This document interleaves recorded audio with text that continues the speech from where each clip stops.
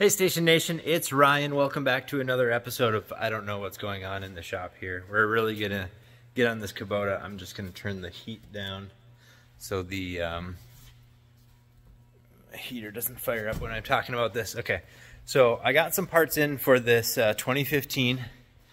So there's there's the one that you guys know so far, and then this is the new one, 2015 RTV X1100C.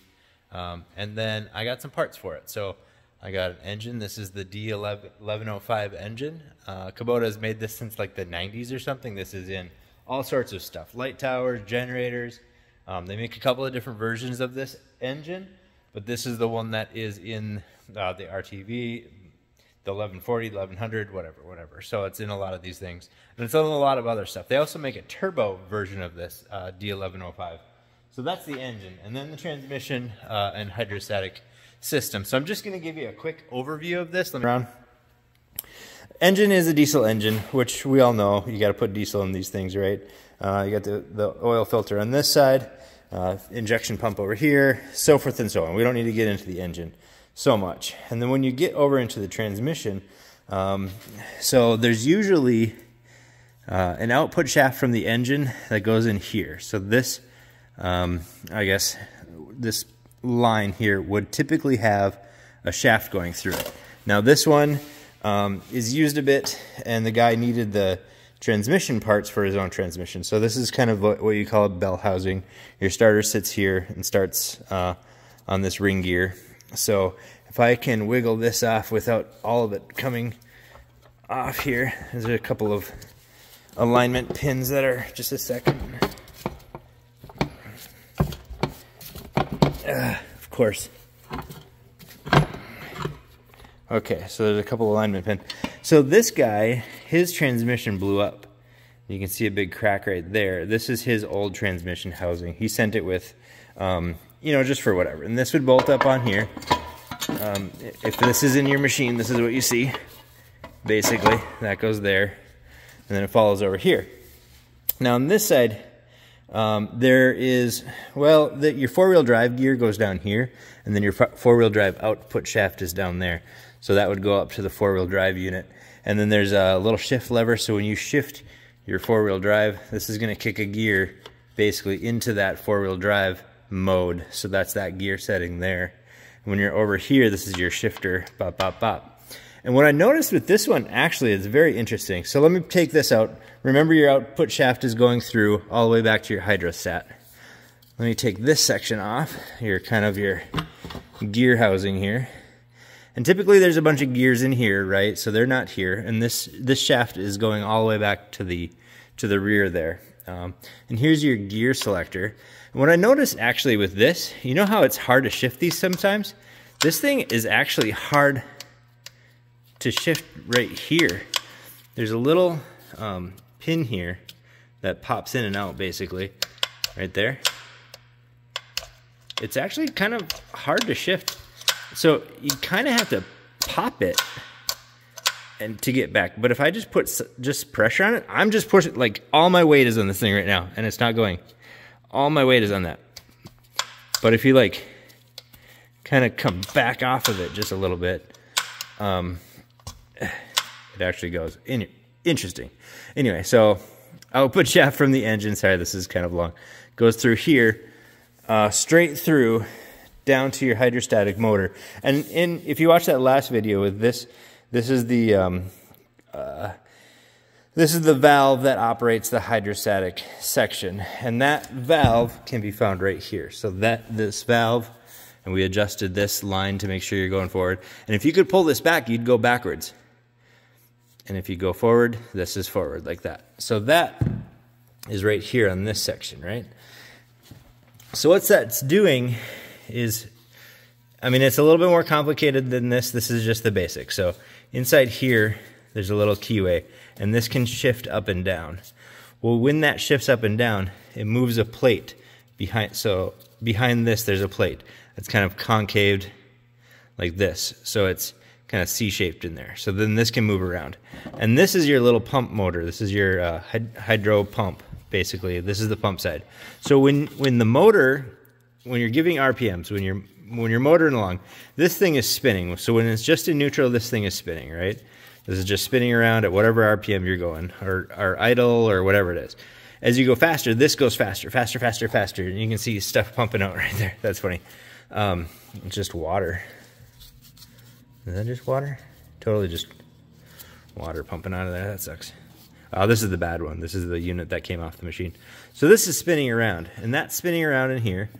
And on the backside is that plate that's concave. And when, when this tilts, this will tilt forward or backwards like this, like that. Um, it puts pressure on these little pistons. We're going to call these pistons, okay? So this piston can go like this. So when this piston is pumping, basically, it's sucking uh, fluid in.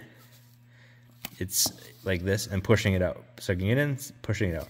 So if you can imagine, this thing is rotating in there super fast, as fast as your RPMs are going.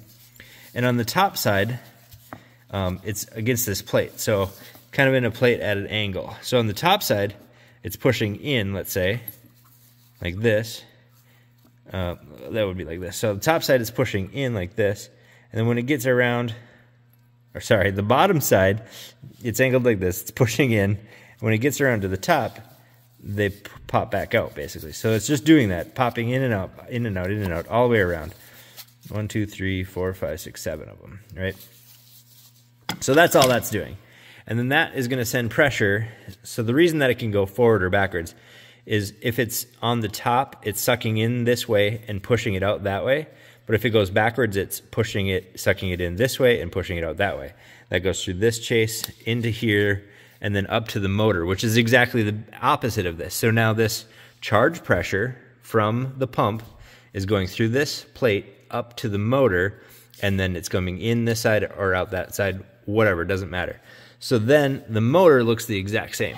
So this motor is bigger, much bigger than the pump side. So the pump, oh, I lost my little insert pistons. Let's get them in there. These are all just crusty and gross, so there's a little spring in there to keep that to keep that uh, from pressurized, right? Oh, that's wrong. Yeah. Anyway, you get that. You get that side. And then this side is the big side. Same thing. And there's a bearing in here. We can take that bearing out. And then this is that plate. So this plate, see how this is, this is called the swash plate. So it's, it's angled up in there. And that's the same thing down here, just on a smaller scale, right? So up there, this system is self-balancing. So as it gets pressure in here, as you push on the gas or open this valve up, that's to twist this bottom plate, right? And that's to start making this pump pump. And that's going to send fluid through this system up to here. And then that's going to that's going to charge instead of pumping down and pushing out, it's going to start filling this up. So it's pushing these out. On this one, it's pushing the fluid through, and the fluid is coming up and pushing these out, basically. So it's pushing, pushing, pushing. That's why this is a little bit larger. So then as this as this starts getting pressure built on it, this is going to balance out your pressure and move you forward. So in this system on the top, I'm sorry this is taking so long, uh, there should be a shaft in here. So there's a shaft that comes here. So if you can see this, this part here, so this one's sending fluid through this system um, up to the motor. The motor is turning the shaft this shaft up here goes into the engine and then there's going to be there's a connection sh connecting shaft in there so it's the output shaft from the hydraulic motor that comes into the gears in here. So then your gears sit here and then you can shift you can shift what gear you're going to be in here basically. So this is going to shift your gears. If I had gears it would be awesome to show you that stuff. And then that is going to go into let me see if I have a flashlight your rear differential. So no, if you ever deal, dealt with cars or trucks or anything with a rear differential, that's just right inside there. It looks like pretty much every other rear differential in existence because that's just how they they are made and then that's going to come out to your your CV joint or your your drive shafts in the back. I hope that makes any any kind of sense. Um, that's the gist of it. So what I got to do is um, I got to take this all apart. So I haven't taken this apart yet, uh, besides what was apart right from the get-go. Um, that rear motor, uh, sorry, pump and motor section is all taken off. So I gotta, I'm actually gonna drop this whole thing so you guys can see how to take apart the whole works. Um, and in order to do that, I'm gonna take off the bed, which is pretty straightforward. Everybody probably knows how to do that. Um, disconnect some stuff. I got to get underneath the seat and disconnect um, like the air conditioning uh, uh, stuff and whatever there. I got to take apart all this linkage, get all that out of there. And I'm going to drop the transmission and engine both as an entire unit. We're going to slide that whole thing out of this unit so you can see how that goes. Um, it, it's, it's a straightforward process, um, but it's, you know, it's, it takes time. It's just a time job. And then when I bought this stuff, I actually got this motor. Um, it seems to be stuck, so I, I'm going to debate whether or not I'm going to rebuild this. Um, I might, I might tear it down and then just show you guys as I'm tearing it down, so you can see that. Uh, because that's always fun to take stuff apart and see how it works. And that's kind of why I did this. I just wanted to sh show you how this all worked. So I might do that too, uh, just for fun or rebuild it, one of the two, depending on what's wrong with it. It doesn't turn over. This machine had a fire in it, so this is all just melted. And I don't know what kind of damage is on the inside of this thing, so I don't know what really happened, so I don't know if it's worth saving, but we'll take it apart, have some fun with that. But I do, I do hope that this rear hydro section is good, for one, um, and is what is wrong with this. As far as I can tell, that's what's wrong with it. So uh, thanks for watching, and uh, I'll uh, catch you on the next one. So, with all of this stuff, really, it's all practical. Um, when I was in high school, one of my favorite quotes that my shop teacher Tim gave to us uh, right at the beginning.